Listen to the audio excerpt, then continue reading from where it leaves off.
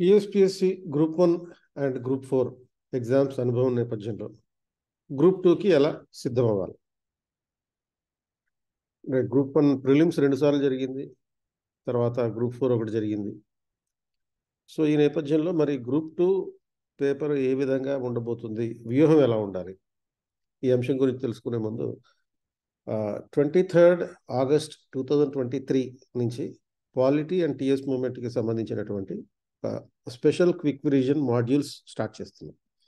Quality Krishna Pradeep అంటే నేను చెప్తాను. టెన్ టు వన్ పిఎం ఉంటుంది. Ten days daily three hours thirty hours. ఇది రివిజన్ మాడ్యూల్. అలాగే తెలంగాణ మూమెంట్ సైదులు సార్ చెప్తారు. టూ టు సెవెన్ పిఎం ఉంటుంది. ఫిఫ్టీన్ డేస్ రోజుకి five hours. Seventy five hours ఈ ప్రోగ్రామ్ ఉంటుంది అనమాట సో ఇది ఆన్లైన్లో కేపీసార్ యాప్ ద్వారా ఆఫ్లైన్లో K P sir UPSC universe second floor beside Sanjay theatre RTC cross road. Hyderabad. ఇంతకుముందు ఇది మనకి అశోక్ నగర్లో ఉండేది. ఇప్పుడు అశోక్ నగర్ కాకుండా ఈ ఆర్టీసీ క్రాస్ రోడ్లో ఉంది. దీన్ని రిజిస్టర్ చేసుకోవడానికి ఇక్కడ ఉన్న క్యూఆర్ కోడ్ స్కాన్ చేయండి. లేకపోతే డిస్క్రిప్షన్లో లింక్ ఉంటుంది. అది క్లిక్ చేయండి. సో పోస్ట్పోన్ అయ్యాక పోటీ పెరిగింది. ఎందుకని? గ్రూప్ వన్ పైన ప్రిలిమ్స్ విషయంలోనే ఇంకా స్పష్టత లేకపోవడం ఒకటి. గ్రూప్ త్రీ పైన స్పష్టత లేకపోవడం. ఇంకా ఎప్పుడు ఎగ్జామ్ పెడతారనే విషయం తెలియకపోవడం. నాలుగైదు సార్లు సివిల్స్ ప్రయత్నాలు విఫలమైన సివిల్స్ అభ్యర్థులు కూడా గ్రూప్ టూ రాస్తున్నారు ఇది చాలా కాంపిటేటివ్ స్పిరిట్తో ఉండేటటువంటి ఆస్పెక్ట్. అలాగే గ్రూప్ ఫోర్ అభ్యర్థులు కూడా గ్రూప్ టూకి ప్రయత్నాలు చేయడం జరుగుతుంది. ఎస్ఐ కానిస్టేబుల్ పరీక్షలు అయిపోయి ఫలితాలు కూడా రావడంతో ఆ అభ్యర్థులు కూడా గ్రూప్ టూ కోసం ప్రిపేర్ అవుతున్నారు.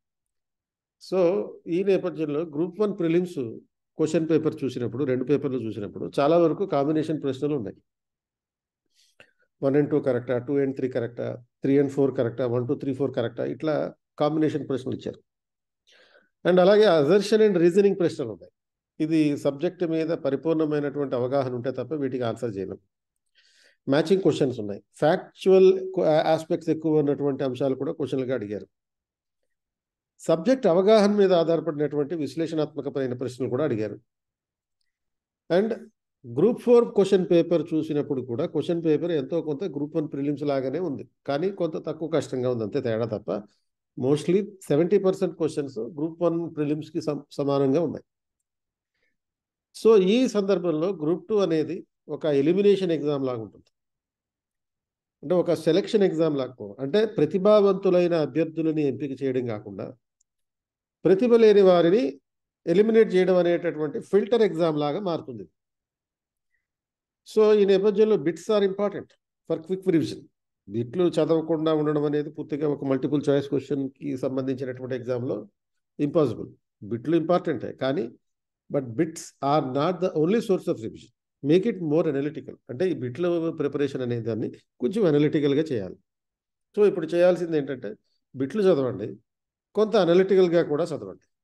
అంటే ఆ బిట్ ఆధారంగా ఒక సపోజ్ రాష్ట్రపతిని ఎవరు అనుకుంటారు అనేది క్వశ్చన్ కాదు ఈ రాష్ట్రపతిని ఒక ఎలక్ట్రల్ కాలేజ్ ఎన్నుకుంటుంది అనేది ఒక బిట్. కానీ క్రింది వారిలో ఎలక్ట్రల్ కాలేజీలో అంతర్భాగం కానిదెవరు అనేటటువంటిది ఈ రోజున అడిగేటటువంటి క్వశ్చన్ కాబట్టి వన్ టూ త్రీ కరెక్టా టూ త్రీ ఫోర్ కరెక్టా ఈ రకమైనటువంటి కాంబినేషన్లు అడుగుతారు. సో ఎగ్జాంపుల్గా ఎలాంటి ప్రశ్నలు అడగచ్చు? చూద్దాం. ఉదాహరణకి మనకి పాలిటీలో తీసుకుంటే definition of socialism in the Indian constitution is found in preamble fundamental rights direct principles ఇట్లా combination question one two three కరెక్టా వన్ అండ్ టూ కరెక్టా వన్ కరెక్టా లేకపోతే ఏది కాదు none of the above so ఇందులో ఆన్సర్ ఇది నన్ ఆఫ్ దేబో ఎందుకంటే సోషలిజం అనే పదం ప్రియాంబుల్లో ఉంది. ప్రియాంబుల్లో ఉన్నటువంటి సోషలిజంకి రిఫ్లెక్షన్స్ అనేవి డైరెక్టివ్ ప్రిన్సిపల్స్లో ఉన్నాయి. అంటే సామ్యవాద సూత్రాలు సోషలిస్ట్ ప్రిన్సిపల్స్ అని చెప్పి. మరి కానీ డెఫినేషన్ మాత్రం ఎక్కడ లేదు. డెఫినేషన్ ఆఫ్ సోషలిజం అనేది ఒక ఫార్టీ థర్డ్ అమెండ్మెంట్ ద్వారా చేసే ప్రయత్నం చేశారు. అది సక్సెస్ కాల. నలభై నలభై రెండవ సవరణ ద్వారా సోషలిజం అనే పదాన్ని ఇన్కార్పొరేట్ చేశారు.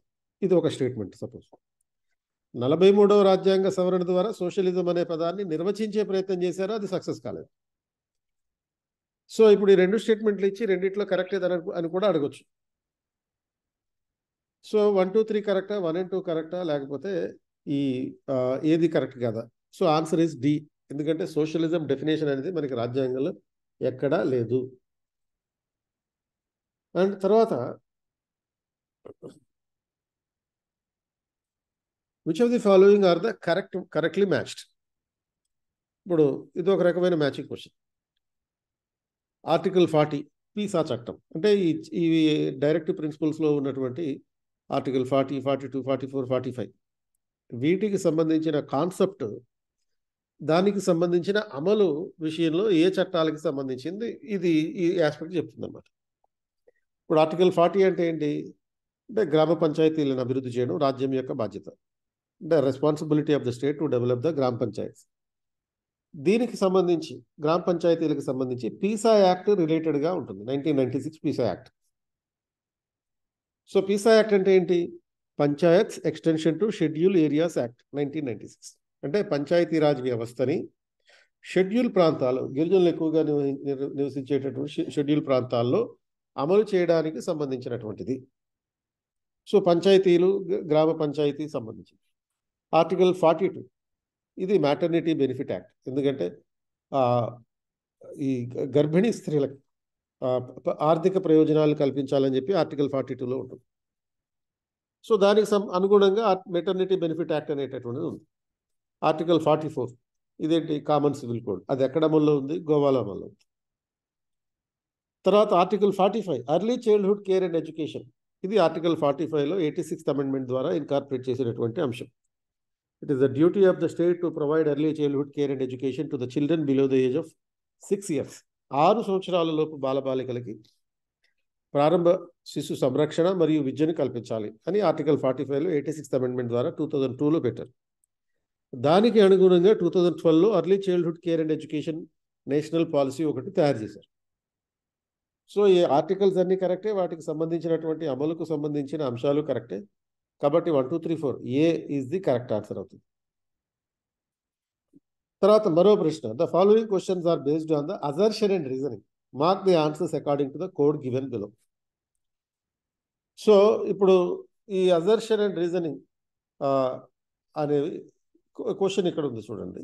Assertion prime minister and council of ministers are collectively responsible to the parliament reasoning prime minister and council of ministers are individually responsible to the president ఇది క్వశ్చన్ ఇక్కడ A B C D options A assertion and reasoning both are correct and reasoning explain the assertion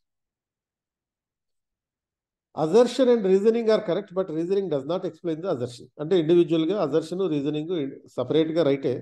కానీ reasoning అనేది అజర్షన్కి assertion అంటే ఒక statement concluding statement reasoning అంటే దానికి కారణం. So A and B విషయంలో మనకి కొంచెం కన్ఫ్యూజన్ ఏర్పడే అవకాశం ఉంటుంది. అంటే రీజనింగ్ మనకి అజర్షన్ని కరెక్ట్గా ఎక్స్ప్లెయిన్ చేస్తుందా లేదా అనే విషయం. C only assertion is true and reasoning is false. D assertion is false reasoning is true. ఇప్పుడు ఈ స్టేట్మెంట్లో స్పష్టంగా కనపడే విషయం ఏంటంటే అజర్షన్ తప్పుంది. అజర్షన్ ఎందుకు తప్పుంది? Prime minister and council of ministers are collectively responsible to the house of people but not to the parliament as a whole. ప్రధానమంత్రి మంత్రిమండలి లోక్సభకి బాధ్యులు. ఉమ్మడిగా లోక్సభకి బాధ్యులు. పార్లమెంట్ మొత్తానికి కాదు. పార్లమెంట్ అంటే మనకి లోక్సభ రాజ్యసభ రాష్ట్రపతి మూడు వస్తాయి. మొత్తం అందరికీ బాధ్యత కాదు ఓన్లీ లోక్సభకి మాత్రమే బాధ్యత.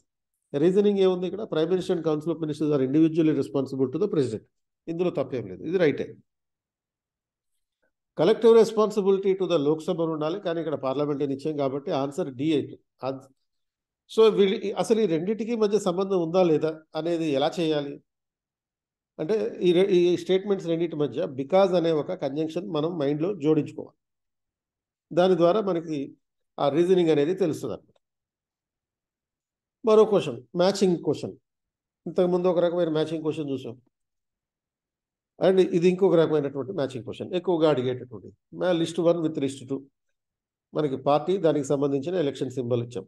బైసికల్ ఎలిఫెంట్ తర్వాత రైజింగ్ సన్. యారో ఇవన్నీ ఉన్నాయి. అంటే యూజువల్గా మనకి సైకిల్ అనగానే మన మైండ్లో కనపడేటటువంటిది తెలుగుదేశం పార్టీ. అదేవిధంగా జ ఎలిఫెంట్ అనగానే జ ఎస్పీ బిఎస్పి లాంటి పార్టీ కనపడుతుంది. కానీ ఇక్కడ మనకు ఉన్నటువంటి ఆప్షన్స్ ప్రకారం సైకిల్ గుర్తు జమ్మూ కాశ్మీర్ నేషనల్ ప్యాంథర్స్ పార్టీకి. అలాగే ఎలిఫెంట్ అనేటటువంటిది అస్సాం గణ పరిషత్కు ఉంది. రైజింగ్ సన్ అనేటటువంటిది డిఎంకేకి ఉంది అండ్ ఆరో అనేటటువంటిది జే జేడియూకి ఉంది. అంటే B is the answer so ఇట్లా మనకి క్వశ్చన్స్ అడిగేటటువంటి అవకాశం ఉంది. ఈ క్వశ్చన్స్ మనం విస్తృతంగా ప్రాక్టీస్ చేయాలి. ప్రాక్టీస్ చేయడం ద్వారా వీటి మీద పూర్తిగా సన్నద్ధత సాధించే అవకాశం ఉంది. సో ఈ క్విక్ రివిజన్ మాడ్యూల్స్ అటెండ్ అవ్వాలంటే ఇక్కడ ఉన్నటువంటి క్యూఆర్ కోడ్ని స్కాన్ చేయండి లేకపోతే డిస్క్రిప్షన్లో ఉన్న లింక్ని క్లిక్ చేయండి.